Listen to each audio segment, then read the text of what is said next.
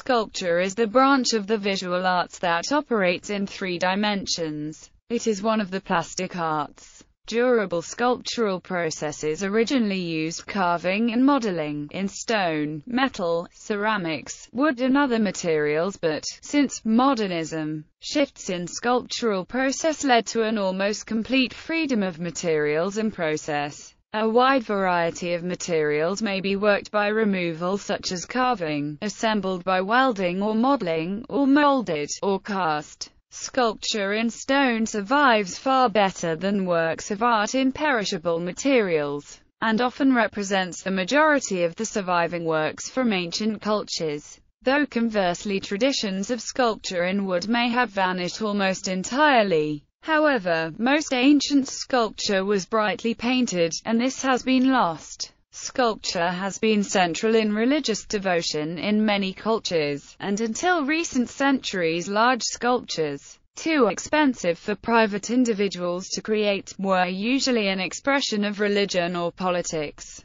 Those cultures whose sculptures have survived in quantities include the cultures of the ancient Mediterranean, India and China, as well as many in South America and Africa. The Western tradition of sculpture began in ancient Greece, and Greece is widely seen as producing great masterpieces in the classical period. During the Middle Ages, Gothic sculpture represented the agonies and passions of the Christian faith.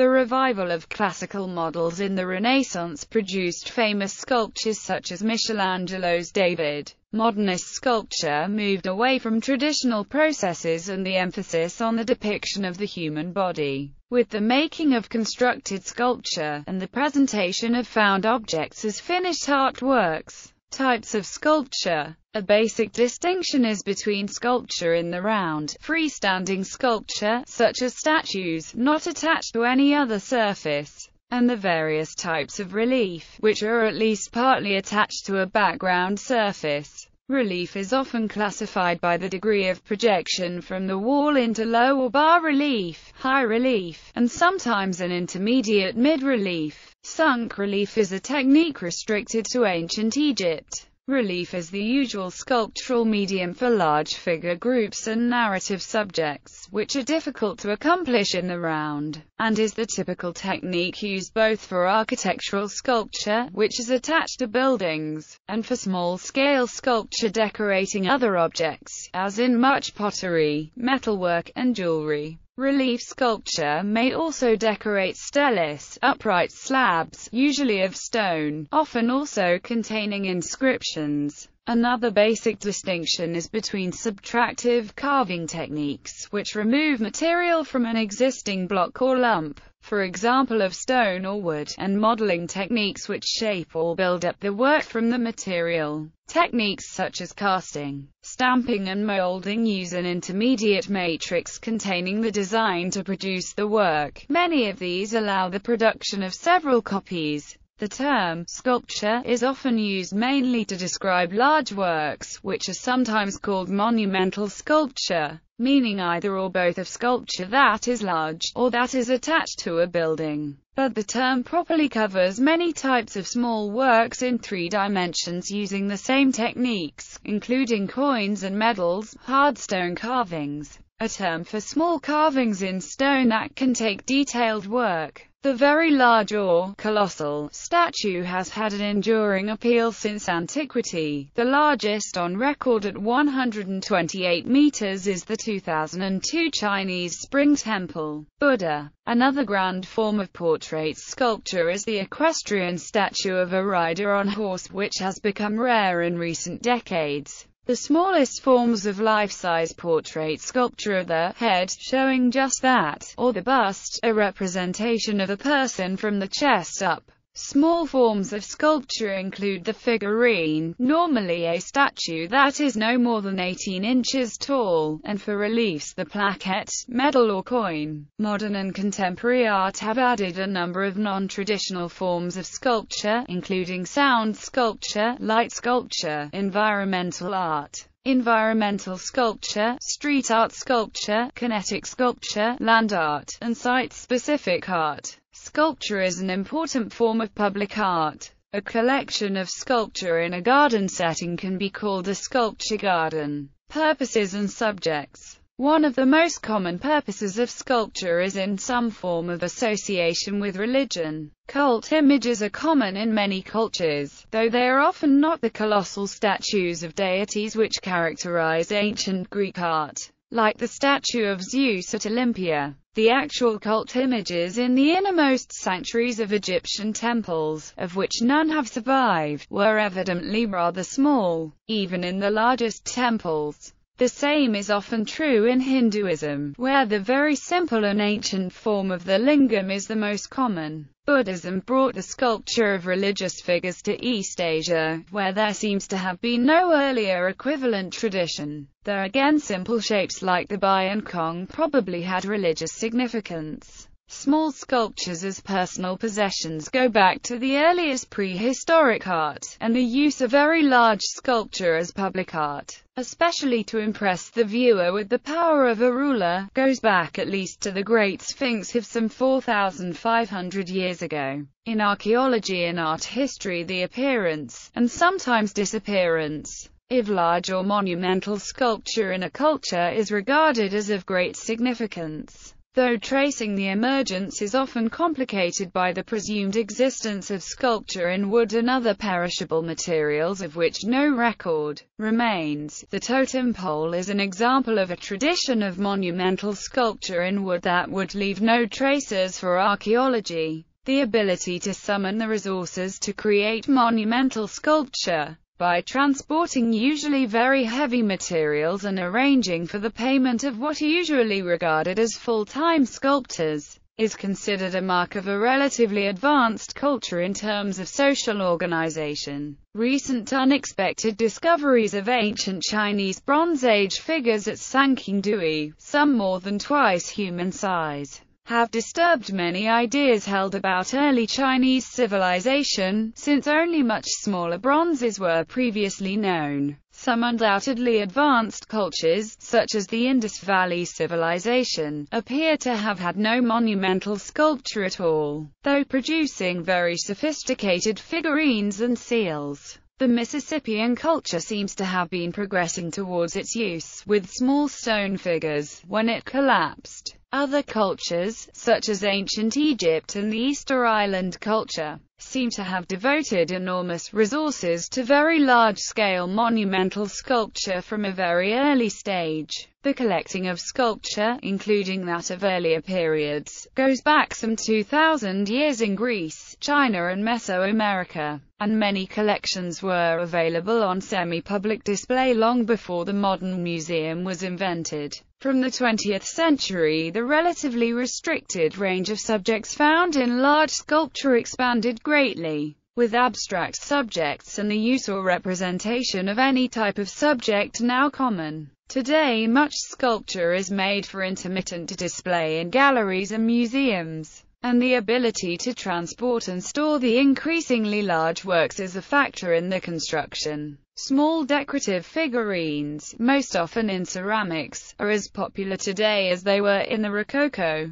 or in ancient Greece when Tanagra figurines were a major industry, or in East Asian and pre-Columbian art. Small sculpted fittings for furniture and other objects go well back into antiquity, as in the Nimrud ivories, Bagram ivories and finds from the tomb of Tutankhamun. Portrait sculpture began in Egypt, where the Narmer palette shows a ruler of the 32nd century BCE, and Mesopotamia, where we have 27 surviving statues of Gudea, who ruled Lagash 2144 2124 BCE. In ancient Greece and Rome the erection of a portrait statue in a public place was almost the highest mark of honor, and the ambition of the elite who might also be depicted on a coin. In other cultures such as Egypt and the Near East public statues were almost exclusively the preserve of the ruler, with other wealthy people only being portrayed in their tombs. Rulers are typically the only people given portraits in pre-Columbian cultures, beginning with the Olmec colossal heads of about 3,000 years ago. East Asian portrait sculpture was entirely religious with leading clergy being commemorated with statues, especially the founders of monasteries, but not rulers, or ancestors. The Mediterranean tradition revived, initially only for tomb effigies and coins, in the Middle Ages, but expanded greatly in the Renaissance which invented new forms such as the personal portrait medal. Animals are, with the human figure, the earliest subject for sculpture, and have always been popular, sometimes realistic but often imaginary monsters. In China animals and monsters are almost the only traditional subjects for stone sculpture outside tombs and temples. The kingdom of plants is important only in jewelry and decorative reliefs, but these form almost all the large sculpture of Byzantine art and Islamic art, and are very important in most Eurasian traditions where motifs such as the palmette and vine scroll have passed east and west for over two millennia. One form of sculpture found in many prehistoric cultures around the world is specially enlarged versions of ordinary tools,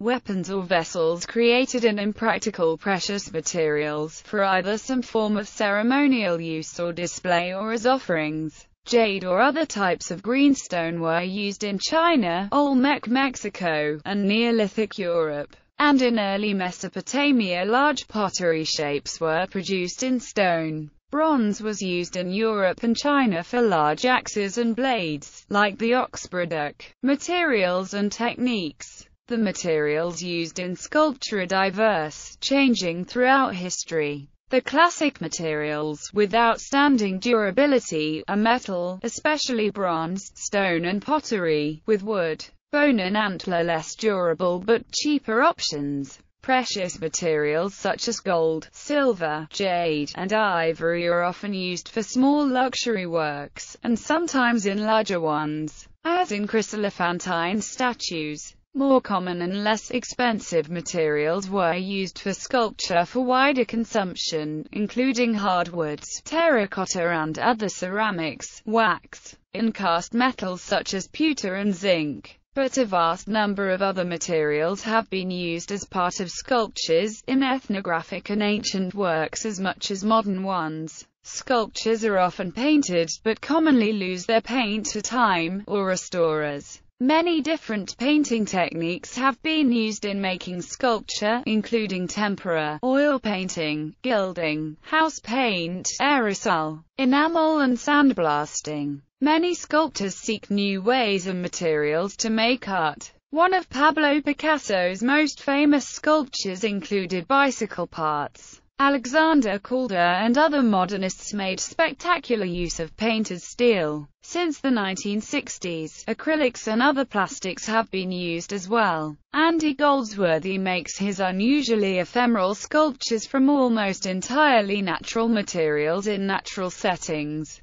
Some sculpture, such as ice sculpture, sand sculpture, and gas sculpture, is deliberately short-lived. Recent sculptors have used stained glass tools, machine parts, hardware and consumer packaging to fashion their works. Sculptors sometimes use found objects, and Chinese scholar's rocks have been appreciated for many centuries. Stone Stone sculpture is an ancient activity where pieces of rough natural stone are shaped by the controlled removal of stone. Owing to the permanence of the material, evidence can be found that even the earliest societies indulged in some form of stone work. Though not all areas of the world have such abundance of good stone for carving as Egypt, Greece, India and most of Europe. Petroglyphs are perhaps the earliest form. Images created by removing part of a rock surface which remains in situ, by incising, pecking, carving, and abrading. Monumental sculpture covers large works, and architectural sculpture, which is attached to buildings. Hardstone carving is the carving for artistic purposes of semi-precious stones such as jade, agate, onyx, rock crystal, sard or carnelian, and a general term for an object made in this way. Alabaster alabaster or mineral gypsum is a soft mineral that is easy to carve for smaller works and still relatively durable. Engraved gems are small carved gems, including cameos, originally used as seal rings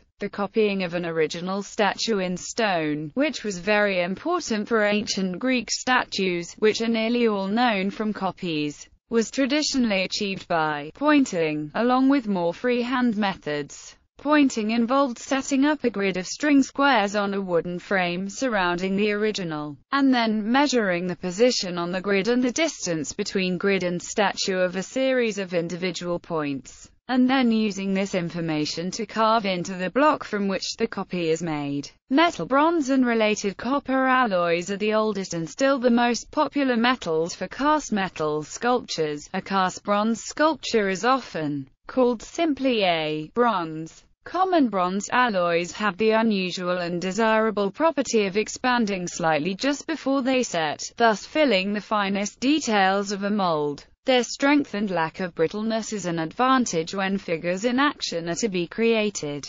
especially when compared to various ceramic or stone materials. Gold is the softest and most precious metal, and very important in jewelry. With silver it is soft enough to be worked with hammers and other tools as well as cast repousse and chasing are among the techniques used in gold and silversmithing. Casting is a group of manufacturing processes by which a liquid material is poured into a mold, which contains a hollow cavity of the desired shape, and then allowed to solidify. The solid casting is then ejected or broken out to complete the process, although a final stage of cold work may follow on the finished cast. Casting may be used to form hot liquid metals or various materials that cold set after mixing of components. Casting is most often used for making complex shapes that would be otherwise difficult or uneconomical to make by other methods. The oldest surviving casting is a copper Mesopotamian frog from 3200 BC. Specific techniques include lost wax casting, plaster mold casting and sand casting. Glass glass may be used for sculpture through a wide range of working techniques, though the use of it for large works is a recent development. It can be carved with considerable difficulty. The Roman-like Lycurgus cup is all but unique. Hot casting can be done by ladling molten glass into molds that have been created by pressing shapes into sand, carved graphite or detailed plaster, silica molds. Kiln casting glass involves heating chunks of glass in a kiln until they are liquid and flow into a waiting mold below it in the kiln. Glass can also be blown and or hot sculpted with hand tools either as a solid mass or as a part of a blown object. Pottery Pottery is one of the oldest materials for sculpture, as well as clay being the medium in which many sculptures cast in metal are originally modeled for casting. Sculptors often build small preliminary works called maquettes of ephemeral materials such as plaster of Paris, wax, unfired clay, or plasticine. Many cultures have produced pottery which combines a function as a vessel with a sculptural form, and small figurines have often been as popular as they are in modern Western culture. Stamps and molds were used by most ancient civilizations, from ancient Roman Mesopotamia to China. Wood carving Wood carving has been extremely widely practiced, but survives much less well than the other main materials, being vulnerable to decay, insect damage, and fire. It therefore forms an important hidden element in the art history of many cultures. Outdoor wood sculpture does not last long in most parts of the world, so that we have little idea how the totem pole tradition developed. Many of the most important sculptures of China and Japan in particular are in wood, and the great majority of African sculpture and that of Oceania and other regions. Wood is light, so suitable for masks and other sculpture intended to be carried, and can take very fine detail. It is also much easier to work than stone. It has been very often painted after carving, but the paint wears less well than the wood, and is often missing in surviving pieces. Painted wood is often technically described as wood in polychrome. Typically a layer of gesso or plaster is applied to the wood, and then the paint is applied to that. Social status of sculptors Worldwide, sculptors have usually been tradesmen whose work is unsigned in some traditions, for example China, where sculpture did not share the prestige of literati painting. This has affected the status of sculpture itself. Even in ancient Greece, where sculptors such as Phidias became famous, they appear to have retained much the same social status as other artisans and perhaps not much greater financial rewards, although some signed their works. In the Middle Ages artists such as the 12th century Gislebertus sometimes signed their work, and were sought after by different cities, especially from the Trecento onwards in Italy, with figures such as Arnolfo di Cambio, and Nicola Pisano and his son Giovanni. Goldsmiths and jewelers, dealing with precious materials and often doubling as bankers, belonged to powerful guilds and had considerable status, often holding civic office. Many sculptors also practiced in other arts. Andrea del Verrocchio also painted, and Giovanni Pisano, Michelangelo, and Jacopo Sansovino were architects. Some sculptors maintained large workshops. Even in the Renaissance the physical nature of the work was perceived by Leonardo da Vinci and others as pulling down the status of sculpture in the arts. Though the reputation of Michelangelo perhaps put this long-held idea to rest. From the high Renaissance artists such as Michelangelo, Leone Leoni and Giambologna could become wealthy, and ennobled and enter the circle of princes, after a period of sharp argument over the relative status of sculpture and painting. Much decorative sculpture on buildings remained a trade, but sculptors producing individual pieces were recognized on a level with painters. From the 18th century or earlier sculpture also attracted middle-class students, although it was slower to do so than painting. Women sculptors took longer to appear than women painters, and were less prominent until the 20th century.